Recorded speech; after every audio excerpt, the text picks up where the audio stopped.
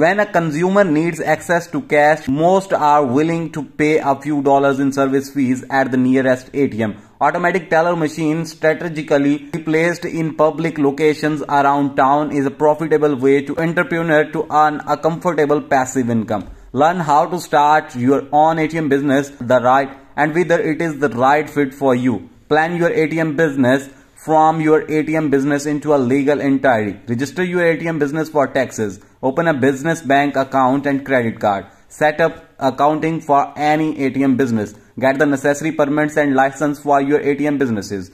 Get ATM business insurance. Define your ATM business brand. Create your ATM business website. Set up your business phone system. We have put together this simple guide to starting your ATM business these steps will ensure that your new business is well planned out, registered properly and legally compliant. What are the costs involved in opening an ATM business? While this type of business venture does not require an office space or a lot of supplies, there are a few things you will need to purchase. Total investment will be defined by how many machines you plan to start with. Each machine will cost between $3,000 and $10,000 depending upon the style you purchase. Each machine should have at least $2,000 in cash on a rating basis. The only other item you should need is an insurance policy, a bag for transporting cash, tools for routine machine maintenance, and a reliable vehicle.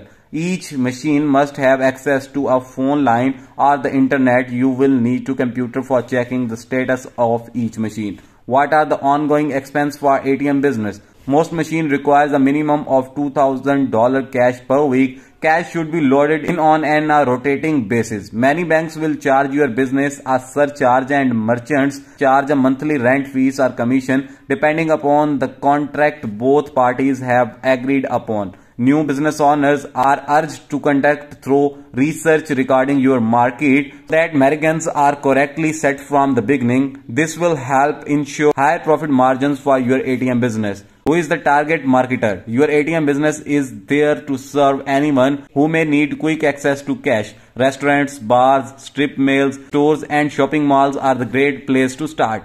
How does any ATM business make money? An ATM business charges each customer a fee when they draw money out of their accounts. How much can you charge customers? The standard fees is $2.50 to $3 per transaction. How much profit can an ATM business make? It's important to choose high traffic areas for your international locations. Successful business owners report an average of $500 per month as per ATM machine.